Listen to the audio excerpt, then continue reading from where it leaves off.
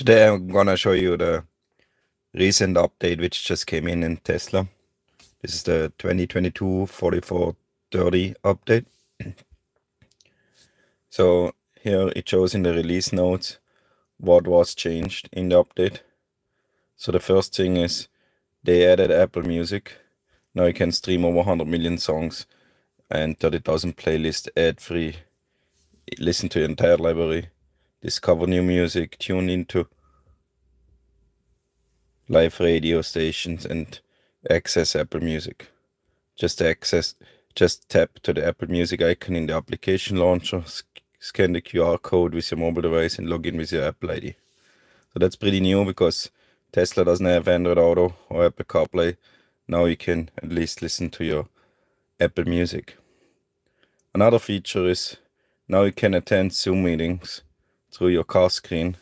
I read not every uh, Tesla can do that. It really depends on the chip you have installed on your car. So my car says now I can make video calls with Zoom using the interior cabin camera. If you have a Zoom meeting in your calendar, tap the link automatically, start or join your meeting, and participant video and screen sharing are only visible while you're parked and will switch audio only if you drive. To access Zoom, tap Application Launcher and then Zoom. Then they have also some change in the dog mode. Now you can see the uh, interior camera from the mobile app while using dog mode or sentry mode. To enable live camera, tap Control Safety View, Live Camera View mobile app. So this feature only works if you have the newest mobile app version 4.15.0 plus and of course the premium connectivity from Tesla. Another new feature they got is the schedule light show. With the schedule light show, now you can schedule for up to 10 minutes in advance a light show or watch a multi-car orchestra by setting them to start sim simultaneously. So that's really cool when you do like a car meet or some events. Then they did some other changes on the fan speed. Now you can adjust the fan spin intensity while remaining in auto climate by selecting between low, medium and high.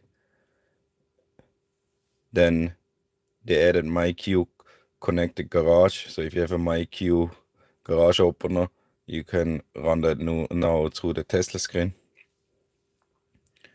They added or improved the auto turn signals. Now the turn signals deactivate when you change lane or fork or merge. This was not really working before. It only worked when you do like a full left or full right turn. They did some improvements with the game. They just say they cleaned up the modern design and smoothed the animations. So more or less it's just an update to the game. Then they added a confirmation when you transfer a phone call and now it will request a confirmation before you transfer so, it will not automatically transfer. Then they change the contact lookup. You can search for contacts from a connected bluetooth device. Here just it says again to access tap the application launcher phone contact search icon. Another part which came with that update is media controls. Now the media controls are closer to the driver. They're now down here. You see it actually here. I have a music running in the background, which is on mute. Before it was down here. Swipe up to access recent favorite and sources. Swipe left or right. And also access trips and tire pressure information. Then emissions testing mode via the mobile app. Emission testing mode can now be used for the mobile app. Long press any quick controls icon from home screen and drag the forward icon to the top row. Again, this fe feature requires the mobile app version 4.15.0 plus.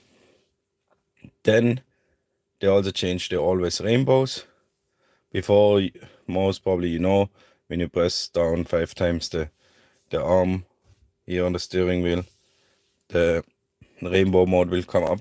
Now it says it is always available if you're an autopilot and you can have rainbow always active for your screen. I think they came up with some really cool new features. Interesting for me was the thing with the Zoom meetings. Um, you have to have the right chip. I was wondering how you get to find out what chip you have.